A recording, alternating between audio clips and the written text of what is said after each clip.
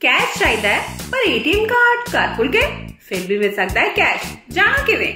ਕਈ ਵਾਰ network error ਦੀ ਵਜ੍ਹਾ ਨਾਲ UPI ਪੇਮੈਂਟ ਨਹੀਂ ਹੋ ਪਾਉਂਦੀ ਹੈ, ਅਜਿਹੇ 'ਚ ਤੁਹਾਨੂੰ ਕੈਸ਼ ਪੇਮੈਂਟ ਕਰਨੀ ਪੈਂਦੀ ਹੈ। ਪਰ ਜੇ ਬਾਈ ਚਾਂਸ ਤੁਸੀਂ ਆਪਣਾ ਏਟੀਐਮ ਕਾਰਡ ਘਰ ਭੁੱਲ ਆਏ ਹੋ, ਤਾਂ ਤੁਹਾਨੂੰ ਪਰੇਸ਼ਾਨ ਹੋਣ ਦੀ ਲੋੜ ਨਹੀਂ। ਤੁਹਾਨੂੰ ਇੱਕ ਅਜਿਹੀ ਟ੍ਰਿਕ ਦੱਸਣ ਜਾ ਰਹੇ ਹਾਂ, ਜਿਸ ਨਾਲ ਬਿਨਾਂ ਏਟੀਐਮ ਕਾਰਡ ਦੀ ਮਦਦ ਨਾਲ ਤੁਸੀਂ ਏਟੀਐਮ ਤੋਂ ਕੈਸ਼ ਨਿਕਾਲ ਸਕਦੇ ਹੋ। ਤੇ ਇਸ ਕੰਮ ਵਿੱਚ ਤੁਹਾਡਾ ਮੋਬਾਈਲ ਤੁਹਾਡੀ ਮਦਦ ਕਰੇਗਾ। ਸਭ ਤੋਂ ਪਹਿਲਾਂ ਏਟੀਐਮ ਮਸ਼ੀਨ ਵਿਜ਼ਿਟ ਕਰੋ ਇਸ ਤੋਂ ਬਾਅਦ ਵਿਡਰਾਲ ਕੈਸ਼ ਆਪਸ਼ਨ ਸਿਲੈਕਟ ਕਰੋ ਫਿਰ UPI ਪੇਮੈਂਟ ਆਪਸ਼ਨ ਸਿਲੈਕਟ ਕਰੋ ਇਸ ਤੋਂ ਬਾਅਦ QR ਕੋਡ ਤੁਹਾਡੀ ਏਟੀਐਮ ਸਕਰੀਨ ਤੇ ਡਿਸਪਲੇ ਹੋਏਗਾ ਇਸ ਤੋਂ ਬਾਅਦ ਫੋਨ ਵਿੱਚ UPI ਐਪ ਓਪਨ ਕਰਨਾ ਹੋਏਗਾ ਇਸ ਤੋਂ ਬਾਅਦ QR ਕੋਡ ਸਕੈਨ ਕਰਨਾ ਹੋਏਗਾ ਜਿੰਨੇ ਪੈਸੇ ਕੱਢਨੇ ਹੋਣਗੇ ਉਸ ਨੂੰ ਦਰਜ ਕਰਨਾ ਹੋਏਗਾ ਇਸ ਤੋਂ ਬਾਅਦ UPI ਪਿਨ ਪਾਣਾ ਹੋਏਗਾ ਫਿਰ ਹਿੱਟ ਪ੍ਰੋਸੀਡ ਬਟਨ ਤੇ ਟੈਪ ਕਰਨਾ ਹੋਵੇਗਾ ਇਸ ਤੋਂ ਬਾਅਦ ਤੁਹਾਨੂੰ ਕੈਸ਼ ਮਿਲ ਜਾਏਗਾ